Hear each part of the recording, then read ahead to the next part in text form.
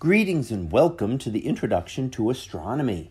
One of the things that I like to do in each of my introductory astronomy classes is to begin the class with the astronomy picture of the day from the NASA website that is apod.nasa.gov/apod. And today's picture for March the 7th of 2020, well, it is titled a Pic du Midi a Panorama. So, what do we see here?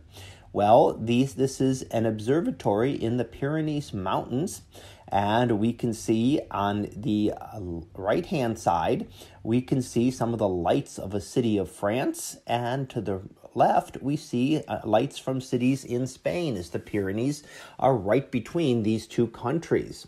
And we can see the observatories based in those mountains, which is where we base many observatories in terms of mountains to get them high up above a lot of the Earth's atmosphere. Now, as we look up to the sky, we see a number of objects as well, including our Milky Way stretching across the entire panorama. And we can see many of the winter constellations that we associate. And we see uh, one prominent one, of course, is the constellation of Orion. Orion, there, a little bit to the left of center, uh, is one of the very prominent winter constellations. And we can even see the bright star Betelgeuse, which has been in the news this year as it had gotten incredibly faint over the last couple of months, although it seems to have come out of that cycle and is now continuing to brighten and back uh, close to its normal brightness now. Uh, also within Orion, we see the Orion Nebula uh, down below the belt of Orion, there, which is a large star forming region and one of the nearest large star forming regions to us. Now, to the left of Orion, we see the bright star Sirius, the brightest star in the sky. And there being one of the uh, parts of Canis Major, the larger dog, which would follow the hunter through the sky as the stars rise in the east and set in the west. And off to the right of uh, Orion, we see two other star clusters, and those are the Hyades and the Pleiades star clusters. So, those are two star clusters in the constellation of Taurus, the bull.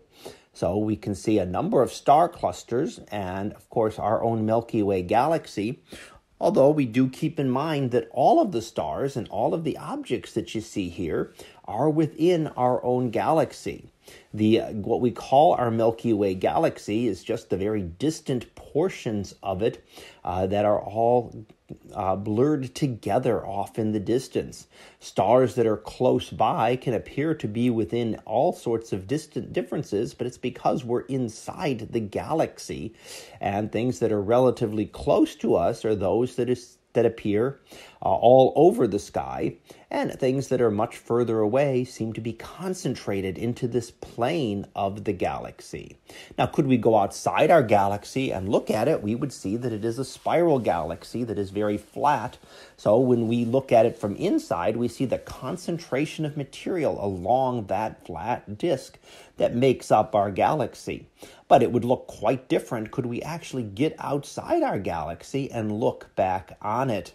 And the only way we can get an idea of what that is like is by observing other galaxies because we have no technology that even comes close to allowing us to get outside of our of our galaxy and look back on it. So that was our picture of the day for March the 7th of 2020. It was titled Pic du Midi a uh, Panorama. We'll be back again tomorrow for the next picture previewed to be stellar winds. So we'll see what that is about tomorrow. And until then, have a great day, everyone, and I will see you in class.